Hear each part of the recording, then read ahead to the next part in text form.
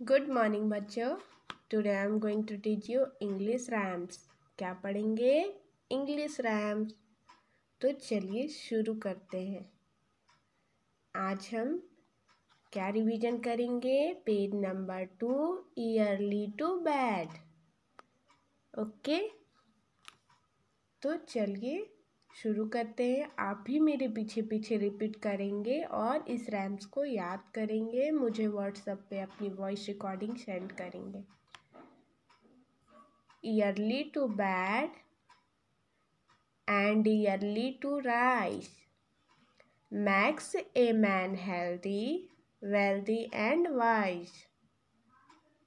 Early to bed and early to rise makes a man healthy, wealthy and wise.